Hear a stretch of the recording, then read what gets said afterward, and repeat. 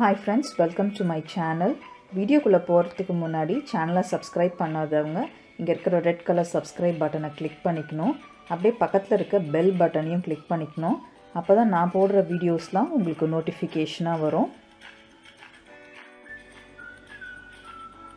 இன்றைக்கி கிராண்ட் சமையலில் ரோட்டுக்கடை சுண்டல் எப்படி பண்ணுன்றதை பார்க்க போகிறோம் ஈவன் இதை வந்து நம்ம இட்லி தோசைக்கு சப்பாத்திக்கெலாம் கூட இந்த சுண்டலை தொட்டு சாப்பிடலாம்.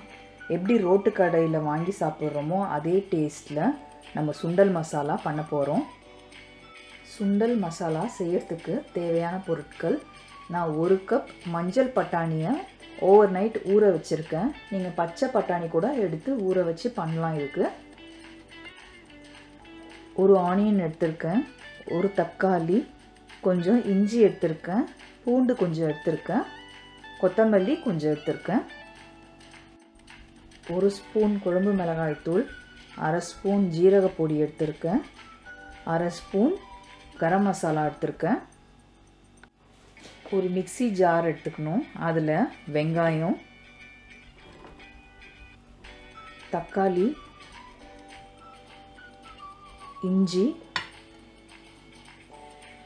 பூண்டு வந்து இதில் கொஞ்சமாக நான் எடுத்துக்கிறேன். இவ்வளோ பூண்டு எடுத்து போட்டுக்கணும். இதில் ரெண்டு பச்சை மிளகாவும் போட்டுக்கலாம். எங்கிட்ட இப்போ பச்சை மிளகா இல்லை. அதனால நான் வந்து பச்சை மிளகா இல்லாமையே இதெல்லாம் கிரைண்ட் பண்ணி வச்சுக்கணும். இப்போது வெங்காயம் தக்காளி இஞ்சி பூண்டு அதெல்லாம் அரைச்சது. நல்லா பேஸ்ட் மாதிரி அரைச்சி வச்சுருக்கேன். இப்போது ஒரு குக்கர் எடுத்துக்கணும். அதில் ஊற வச்சுருக்க பட்டாணியை ஆட் பண்ணிடணும்.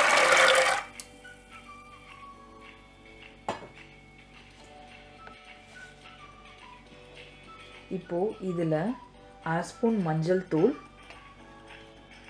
தேவையான அளவு உப்பு. ஆட் பண்ணிவிட்டு இதை நாலு விசிலுக்கு வேக வைக்கணும்.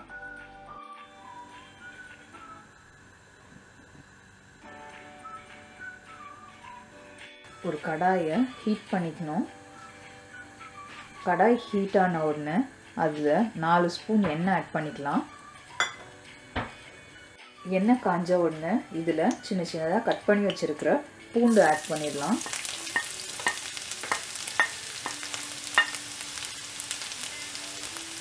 பூண்டு ஆட் பண்ணிவிட்டு இது இந்த எண்ணெயிலே நல்லா ஃப்ரை ஆகணும்.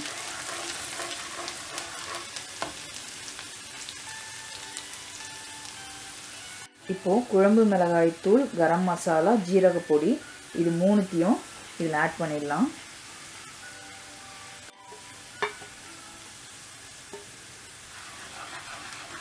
நல்லா மிக்ஸ் பண்ணி விடணும்.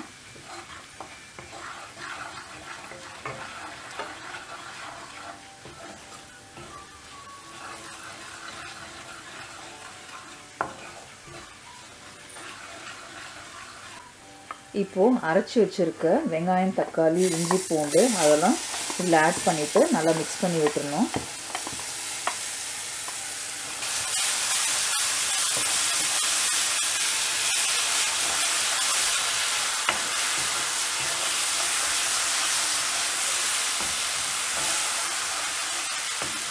இந்த எண்ணெயில் இந்த பேஸ்ட் நல்லா ஃப்ரை ஆகணும்.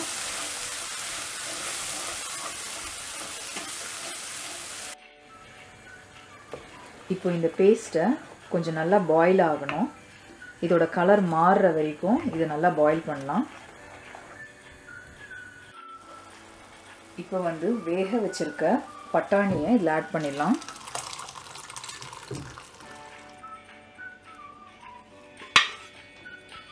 ஆட் பண்ணிவிட்டு இதை நல்லா மிக்ஸ் பண்ணி விட்டுடலாம்.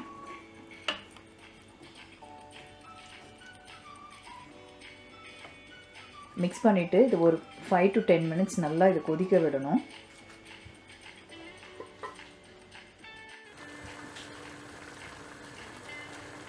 இப்போது சுண்டல் வந்து நல்லா கொதிச்சாச்சு.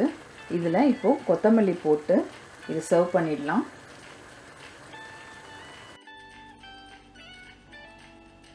ரோட்டுக்கடை சுண்டல் மசாலா ரெடி ஆயிடுச்சு. இப்போது இதில் ஆனியன் ஆட் பண்ணிடலாம்.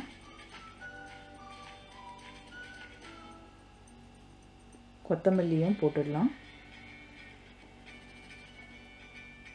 இதில் நீங்கள் துருவன கேரட்டு சின்ன சின்னதாக கட் பண்ண மாங்காய் இதெல்லாம் கூட இதில் போடலாம். என்கிட்ட மாங்காவும் கேரட்டும் இல்லை இப்போதைக்கு. அதனால நான் ஆனியனும் கொத்தமல்லியும் போட்டிருக்கேன்.